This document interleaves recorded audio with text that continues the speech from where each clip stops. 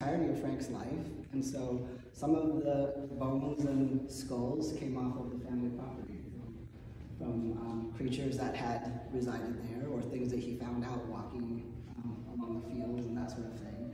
There are some more exotic skulls that he ordered from scientific supply stores, so um, to get sort of different silhouettes for some of his creatures. So kind of a kind of a combination. Um, I have used bones myself in my work previously, and one of the things that you also find when you start using bones is that people then start bringing them to you. Um, sometimes you have to get very specific about like the cleanliness of the bones or what what kind of bones you're interested in, because people just um, like cats just leave little offerings on your doorstep sometime. And oh, well, I hadn't, ex hadn't expected that. So. But yeah, he gathered, he was kind of a collector of all sorts of things. You can see from some of these pieces. Um, these were containers for him in different ways. So he would sometimes uh, put personal objects, mementos. Um, other times he would gather things and put them in. Um, this is some of his early work. Towards the end of his life, he was making pieces that were no longer figurative, but were just these huge bundles. Um, where he was, um, you know, wrapping them with rope and there would be bones and buttons and all sorts of objects and he would coat them with wax and all sorts of things. Um, some of his pieces, uh, our sculptures are currently being stored out on the family. The family has a, a pioneer barn and some of them are being stored carefully wrapped um, in the family's, uh, in the building on the family property. Um, last summer I went out and a raven had constructed a huge, huge nest above some of the sculptures. Um, and it was amazing to see that the, um, how much the textures and patterns and things of that bird's nest um, were mimicked in Frank's later work. And you can kind of see little aspects of this here. Uh, so Frank um, went to DeSales High School in Walla Walla. He was raised in a Catholic family. Um, after graduating, he studied, started studying to become a Jesuit priest. Um, and then he fell in love with another novitiate, and as a result of that, left the priesthood. Um, he was drafted into the Vietnam War. Um, an army chaplain encountered him uh, there and found out that he had a facility with language and recommended him to a program to become an interpreter. Um, and he was very, very fortunate the day that his um, that his uh, group actually shipped out to Vietnam, he was um, moved, transferred into this language school. And then after the Vietnam War, uh, after he was discharged, um, he studied and received a degree, a master's in classical languages and Latin, and then went on to get another degree in archaeology. Um, he split his life as he grew older uh, between Walla Walla and San Francisco. Um, after his mother and father passed away, he uh, was left with the management uh, along with his siblings of the family's farms. So he would live in San Francisco for three or four months and then he would come up and he had a place in Walla Walla where he would uh, come up also. Um, and when he was in Walla Walla, because his home in San Francisco was so small, he had a studio out at the airport, um, the regional airport there in the Walla Walla area. So as soon as he would get up in the morning, he would go out to his studio and he would work until it got too hot or too cold or too dark, and then he would then he would go back. Um, later in life, like in his 40s, uh, Frank had a lot of transitions. He came out uh, to his family when he was 40. He also went back to school and got a degree um, in, from the uh, Art Institute of San Francisco in sculpture and painting. Um, there are some of the textures and patterns in this work that were present in the work that he did in his MFA show. And one of the things that he talked about, which kind of takes me back to that raven's nest, is how evocative the textures and elements of his, uh, in his sculptures were, and how they were derived from this landscape out here in eastern Washington and Oregon. Um, there were fence posts, there were bones, there were the tangle of branches that you would find in a snag along the creek. Um, you know, bits of fabric caught on a barbed wire fence, tangles of old wire, uh, wood piles, um, all these different things that from the local landscape, but he saw them and kind of put them together in these fantastic amalgamations and brought color and a different kind of life and pattern to them.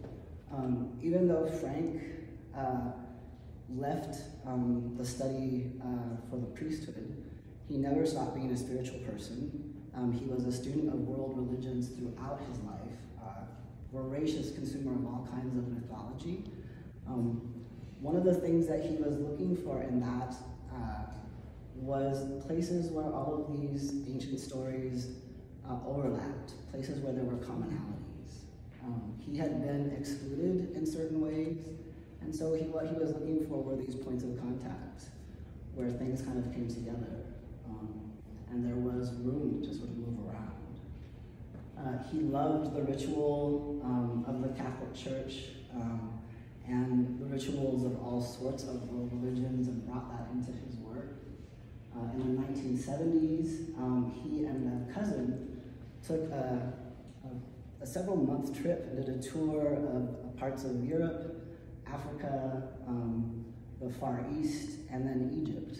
And when he uh, went to Egypt, the artwork there, the tombs, um, the history completely captivated him. And of course, you can see some resonance or echoes of that uh, in the work here as well. Um, in the late, uh, mid to late 80s, um, Frank had kind of a number of tragedies around the time that some, a lot of this work was created.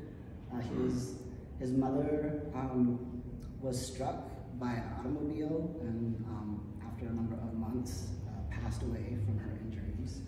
Um, and then uh, his, his um, most significant partner, someone that he had been with for um, you know, a, a, number of years, but not a, a terribly long time, um, succumbed to the, the AIDS crisis um, and passed away. his partner, Eli Jose, is present in many of his drawings, and uh, he was actually an ex-penitente, which is another uh, Catholic order from the Southwest. Um, when Eli was getting close to uh, close to death, um, he and Frank went down to the Southwest so that Eli could be close to his family.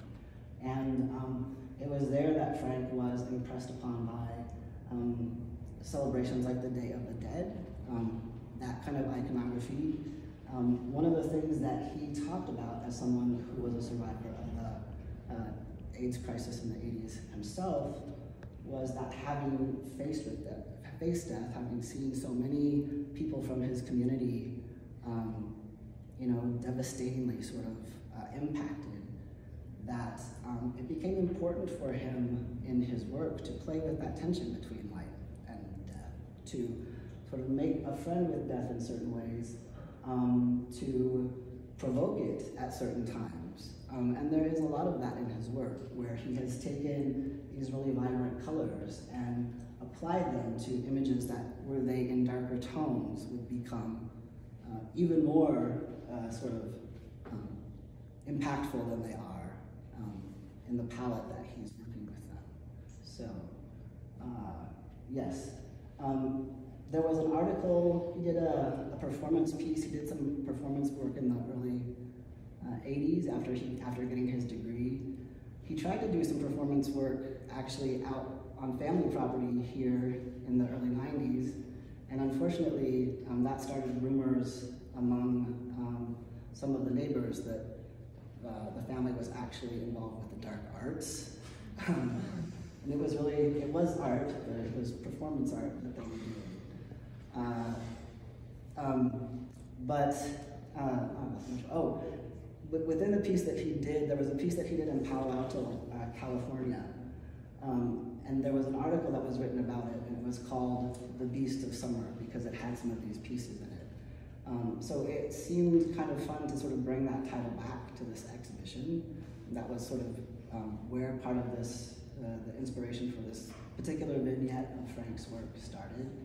Um, Frank also was very much a dog person.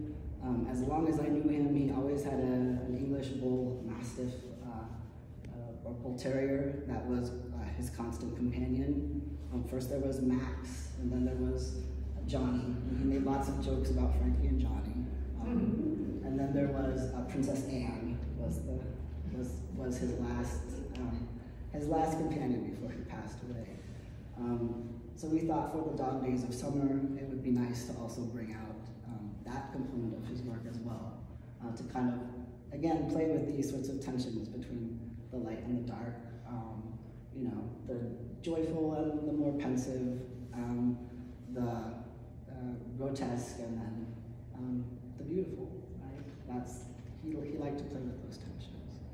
Um, and that's the, that's the show. I have to um, extend my tremendous gratitude to Roberta uh, for allowing us to, to have this space. Um, the work just, it sings in here, the color of the walls, the lights, everything breathes a light into this work that I haven't seen um, in other spaces. Uh, I also would like to thank, um, I don't see him here, but uh, Kyle Bond, who is one of my friends, uh, an artisan who works at the Walla Walla Foundry, who was kind enough to help me load all of this stuff up, uh, carefully strap it in to a U-Haul truck, and, um, and then help me unload it once we, once we got here. Um, but yeah, thank you so much for um, welcoming us into your community and allowing Frank's work to um, continue to live on um, past him.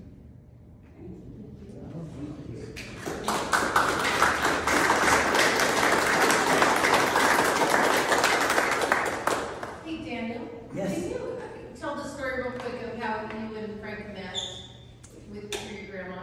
Yes. Um, so I was I I came to um, uh, my family. My father was born in Walla Walla, and my grandmother, after my grandfather passed, returned to Walla Walla where she had been raised because that had always been home. And she really wanted one of her grandchildren to go to Whitman. Um, we didn't want to, to be honest. But I thought I thought I would take one for the team. Um, and I moved over here in the 90s to go to school. They also offered me a lot of scholarship. But she um, had come from the, had also come from the Bay Area. She was a tremendous fan of art. Um, and, uh, and Frank Munns actually lived down the hall from her at the Whitman Towers. Um, and I, when I came to Whitman, I also left a theological school uh, for, for reasons akin um, and decided to do something else um, and found art. And it transformed my, transformed my life, it saved my life multiple instances. instances. Um, and so she said, there's this artist that lives down the hall, you have to meet him. I met Frank, um, you know, then as uh, someone in my early 20s, and he had a show at WSU and invited me to, encouraged me to go and take a look at his work. Um, and I did, um, which was kind of out of my out of my nature. It was actually the first fine art exhibition that I'd ever been to. I drove over to Pullman uh, to see it, and um, I came from a family that, uh, outside of my grandmother, there wasn't a big appreciation for uh, for fine art. Certainly not as something that you want to spend your life pursuing in any significant way. Um, and when I walked into that space and saw his work, uh, there was an energetic resonance, and I saw a visual language that I had not ever been exposed to, but that made a lot of sense to me and connected on some very deep levels. And so it had a profound impact uh, on my own work as a student. And we kind of lost touch after that. And then over time, he showed at the Sheehan Gallery, and I was working there as a um, as a gallery assistant. And we developed a rapport. And then after that, we started. Uh, when he was in town, I would go out to his studio and we'd look at his work, talk at his work, watch him um, paint. Uh, his mature work actually was really beautiful. He continued to do the performance, but it was like a private performance that he did in his studio. This movement of back and forth, um, drawing marks on uh, the paper, and then sort of serving as a conduit and allowing kind of creatures and other forms to emerge. So again, different from this where he was using his sculptures as his models. Um, the last time that I actually saw him, I had gone out to his studio and I was going to start cataloging his work. We had a conversation because he was like, I'm getting older, I don't know what I'm gonna do with this stuff, um, it feels like I should do something. And like, like so often, we started having a conversation and um, it just turned into a conversation. And uh, you know, we're talking, and he said, well, next time when I come back to Walla, I'll be back to Walla Walla like four to six weeks, and we'll just hit it hard and get in there and start start this uh, going. And um, and two days after he was back in California, he was gone. So uh, we never got to finish having that conversation. Uh, so I feel very privileged to be able to continue to work with him. In some ways, um, you know, because Frank was a trickster, and you can see that trickster energy in these pieces in a lot of ways. I think that that maybe um, he wouldn't have minded, because he doesn't, you know, he, he didn't necessarily like to over-explain what he was doing. A lot of artists don't. He more wanted people to just experience his pieces and have their own, tie their own history to them, right? So, um, yeah. One of the things which I loved about him, and I mentioned this earlier in a conversation, was he was like, love my work or hate it, just don't be indifferent to it. That's all I ask. Um, yeah, so, Thank you. yeah. Any other questions? And Daniel will be here to answer questions one-on-one as will William downstairs. So, um, the, the uh, bar is stocked and there's still food left, so thank you so much for coming and thanks again, Daniel.